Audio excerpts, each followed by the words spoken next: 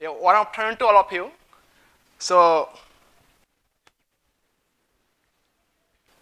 so this is the reason why I am standing in front of, in front of you today. So we have, pub, uh, okay, at the very beginning, I want to thank our director and uh, committee members for choosing this uh, work for this award.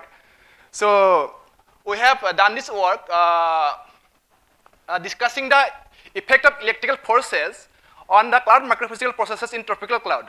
I have co-authored this paper with uh, SD Pawar and Anupam Hazra, uh, my thesis advisor, along with Mahen Konwar, P. Gopalakrishnan, M. K. Srivastava, and BN Goswami as co my co-authors. So, and uh, so in next 20, next 20 minutes, I will I'll, I'm going to introduce you a new aspect of electrical phenomenon, which apart from our daily use of electricity in our as a power source.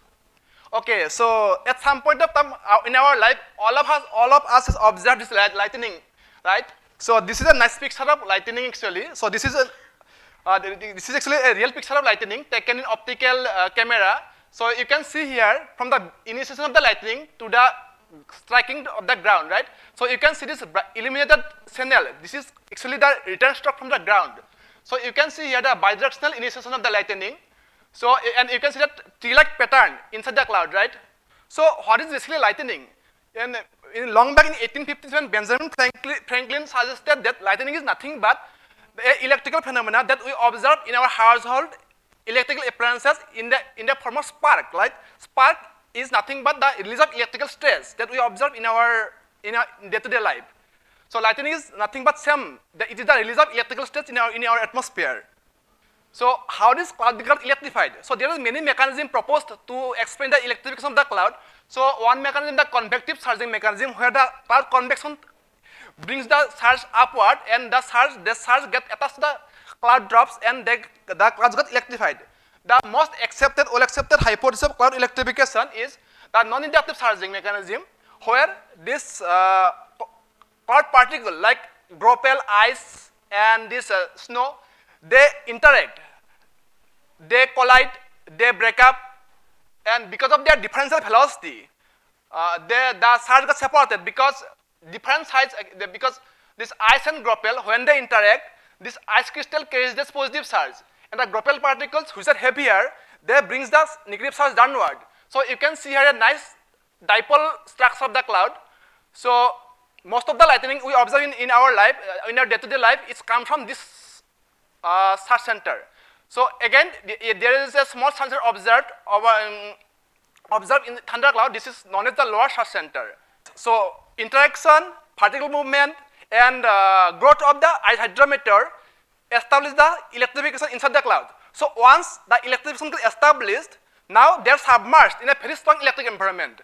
Now let us see how they're going to respond to the electric environment. So as you can see here, the interaction, this interaction of this uh, particles create very high electric environment. It is 2.5 into 10 minus 4 coulomb per meter square is the charge density inside the cloud, which is pretty high, and this is the electric field, which is quite high. So, so the, now the now the particles, cloud particles or raindrops, they are submerged in a very strong electric environment. So now we will see how they are go going to respond to the electric environment. So before that, let us first see how rain forms. So we all know that in warm cloud, basically the filtering level, rain formed by basically collision collision of cloud drops, right? So how can we quantify it? We can quantify it by using a term known as collision efficiency, which is nothing but the ratio of uh, collision cross section and geometric cross section. As we know, in normal situation, when the drops is neutral, so um, that that drops uh, uh, which are in vicinity, they all the drops will never collide with the this drop, right? So some drops will just guess through, right? So uh, this consistency, this because uh, will always be laser unity as uh, SG, which is geometric collision cross section, is always be greater than collision cross section. So as you can see from in this graph, I have taken from the Swan metal 1976. So it, as you can see, the collision efficiency is always less than one unity. So now let's see what is happening when the drop is charged. So you can see when two drops are charged, there will always be some attractive force in between the, in, uh, in between the charge, right? So as you can see here, this is the bigger drop and there are smaller drops. So as you can see, this I have taken from al. 2004. So now you can see the collision cross section is greater than the geometric cross section because all the drops which come to the vicinity of the drops they will all collide with the these bigger drops right so which makes this collision collision efficiency is much much better greater than in uh, i mean unity so you can see here this is i have taken from Khain 2004 so you can see here much increase in the collision efficiency uh, this is uh, independent investigation by Swamm et al. So you can see the collision efficiency, which is much much greater than the when the drop is neutral, right? So for the first time in 1970, 1879, Lord Rayleigh observed that when a particle of water subject to an feeble electrical force, the water show coherent behavior. What do you mean by coherent behavior? Suppose when we see as water jet, at the summit of the summit of the jet, the water when kinetic energy is get minimized, that drop scattered, right? So when he subject the jet to a electric force, he saw that rather than rather the drop get coalesced, rather than getting getting scattered. So that drops go little up because of the coalescence that drops.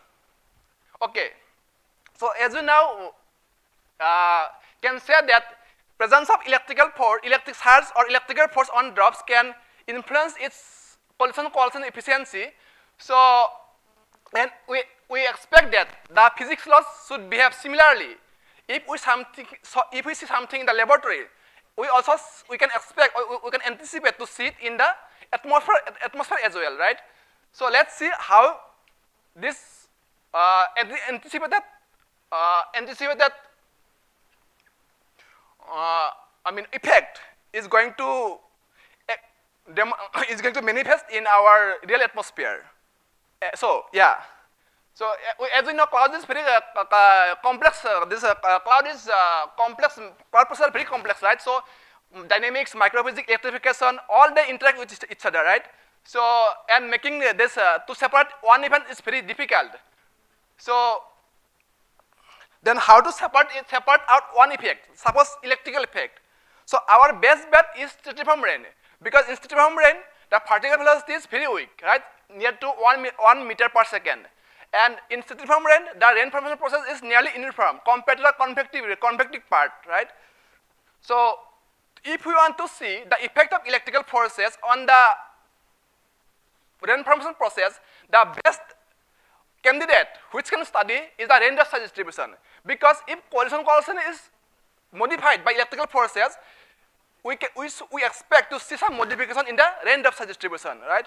So we have studied the rain size distribution to see the electrical effect on the rain microphysical processes. For, for that purpose, we have used micro radar and ground-based impact disdrometer installed at a high-altitude physics laboratory uh, HACPL in Mahabaleshwar and we use our IITM lightning network data to study the electrical characteristic of all the events we have considered for our study.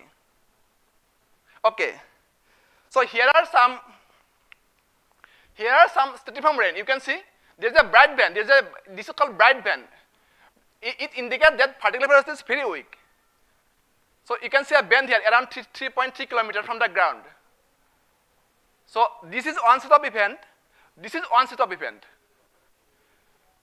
So presence of bright band indicates that both the set of events are stratiform rain. That means they are they are having less particle velocity and the rain formation the primary rain formation process is the vapor deposition at the upper level uh, around uh, 6, kilo, 6 to 7 kilometer and when the ice crystal comes down, they aggregates to from the larger, uh, uh, yeah, larger aggregates. And when they drift down below the melting layer, they melt and they form the raindrops, right? So I call this set of, set of events as strongly electrified. And I call this, this set of events as weakly electrified. I am going to tell you why I call this set of events strongly electrified because for the set uh, in the left hand side, I saw presence of lightning near to the observatory. You can see the presence of lightning in every set of events in the in the left panel. In the right panel, in a 100 kilometer, 100 uh, kilometer by kilometer, 100 kilometer, 100 by 100 kilometer box, did not observe any lightning activity. That's why I call this set of events as strongly electrified, and this set of events are weakly electrified. So now let's move back to move to uh, the profile of particle profile of rain. This is the this is this shows the particle profile of rain rate. So you can see both the uh, average over all the six six events. So you can see that they are having almost similar rain rate profile, rain rate. But when you go back, go, go to the profile of diameter, you can see substantially larger drops in strongly electrified events in the, below the melting layer compared to the weakly electrified events. This, this is about, about six events, strongly electrified events. This shows the distribution of raindrops at 2400 meter, 1200 meter, and 600 meter. When you see the distribution, you can see the presence of very large drop, very, high number constants of large drop in case of strongly electrified events at all the levels. And when you come back to the lower bin size, you can see a compensating decrease or reduction of the smaller drops. What this, this the, what this what this mean? This means that the smaller drops are getting coalesced from the bigger ones. When the electric for electric environment is very strong. Yeah, so it is getting uh, so yeah. So the bigger drops formation of bigger drops might be caused by some factor below the melting layer, right? Yeah. So I have plotted it in extended scale. So uh, this same diameter profile. So you can see in weakly electrified events, there is not much particle, particle variability in the diameter profile. But when you see the strongly electrified events, you can see continuous increase of size, right, coming to the ground. So this is uh, increase of size per meter, we can say growth rate. So you can see drops are continuously acquiring mass. But here you can see it is, I mean, uh, the mean is almost variability is very less. So this is uh, supported by this independent observation by Mattos et al. So they have plotted actually differential reflectivity, but ZDR and MDB are linearly associated. So we can say, so this blue dot line is for uh, events that are not associated with lightning. So you can see that mean profile is is means there, there, there, there is not much particle variability in here. But when lightning is there, in the three cases, there is large deviation, right? That drops are increasing mass, increasing size when they are coming down. So how this is happening? So yeah, this is the uh, ground uh, rain rain depth distribution. So you can see they are having almost similar rain intensity, but in strongly electrified events, rain bigger drops contribute more to the rain than the smaller drop, than the smaller drops, right? So yeah, so concentration of larger drops increases at the expense of the smaller drops. So how this is happening? So when there is surge on the drops, when they collide, right, they will coalesce for any impact angle. They collide, they collide with, right? So in normal situation, when the drops is coming down, they will collide, they will coalesce, they will evaporate, right? They will break up right? So that's why there is not much variability you can see. You can see in, in here. So they will achieve equilibrium. But when there is some factor which is helping the drops to acquire continuous mass, right? Conti so or to in, in, increase size, right? So it it will show continuous growth to the ground. So we propose that this factor is electric force inside strongly electrified cloud. So there's a common observation, right? We observe when there's a lightning discharge in our, in our vicinity, if we observe for some time, we can see the enhancement of rain intensity. So this is uh, old, we call, we call the enhancement as rain gush. So this is, I have documented some rain gush here about the HACPL laboratory. So here this particle bars correspond to the lightning time, this particle bars. And you can see with every, with within uh, two to uh, three minutes after the lightning, there is sudden enhancement in the rain intensity, right? You can see. So here there is two lightning, there is two peaks, right? So this is all documented rain, rain, rain gush, right? So but how this is happening? The microphysical process is not all understood. So it is proposed that this is happening because before the lightning, electric force can levitate the precipitation particles. So when the electric lightning happens, the electric force goes down and the, all the drops will fall down. That will enhance the uh, precipitation intensity. So here I am presenting the drop size distribution. Average over many cases of rain gush. So this red one is after the lightning and the blue is before the lightning. So we can see this is obvious because rain gush is uh, rain is increasing, so larger drop is increasing. But you can see corresponding decrease of sm smaller drops. So when we see the relative changes, we can see that at smaller bin size, the drops number concentration decreases, while at bigger size they increases. That means lightning somehow influencing the collision and collision of the drops, forming the bigger drops. This is a nice picture. So you can see this is HACPL. So this is the density plot of the lightning. So you can see here for this is for uh, different time period. So same day, this is uh, 1550 to 1530. This is 1530 to 16. So half an hour difference. So you can see for this period, there is lightning activity going on over the observatory. For, but, but for this period, lightning activity has drifted little, almost 2 kilometer.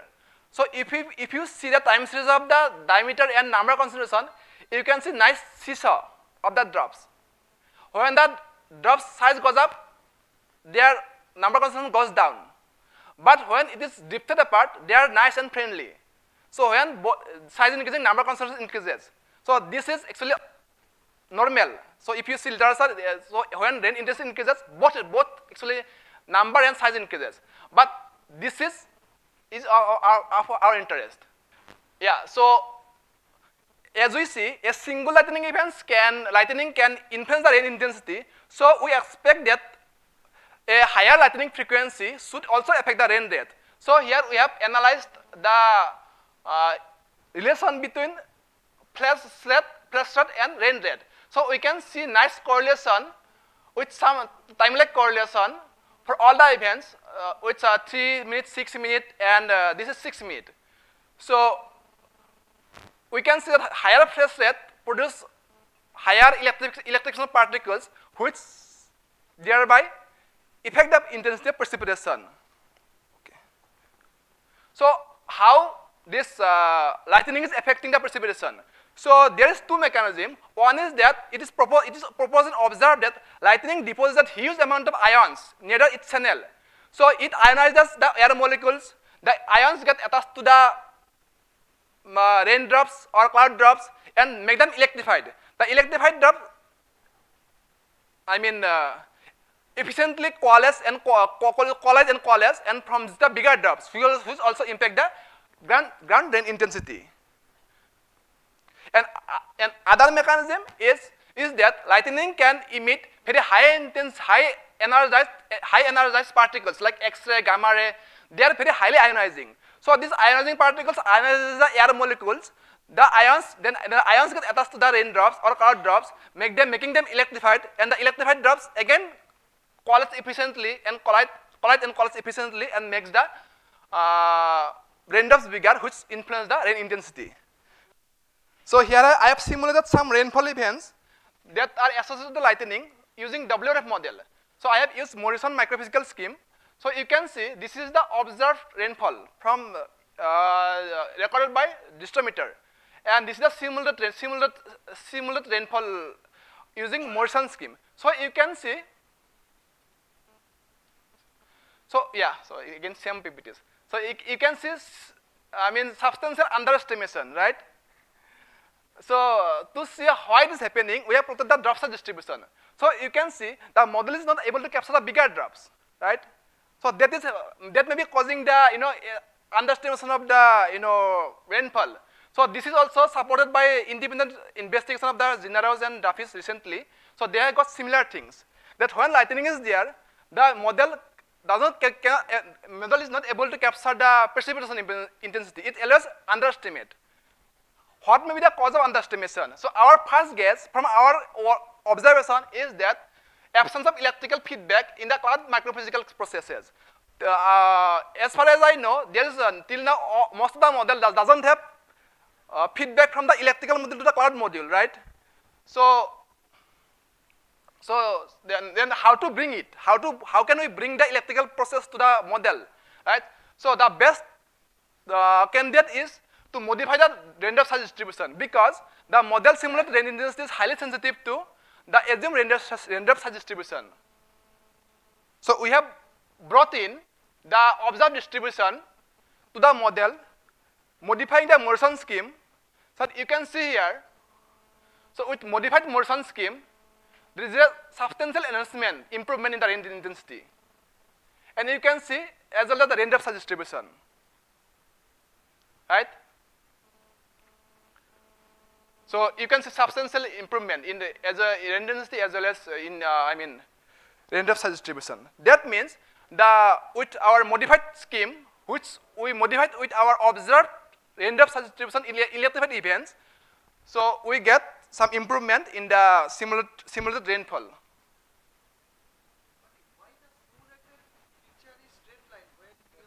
Uh, because this is a, a Marshall Palmer. Actually, this this is gamma. So, sorry. So I can, can I could not get this uh, shape parameter from the model to make it gamma. That's why it, it's I mean showing Marshall Palmer one. So my conclusion is that so in cloud in in in cloud where electric environment is very strong, they can broaden the raindrop size distribution, which in return can modify the precipitation intensity.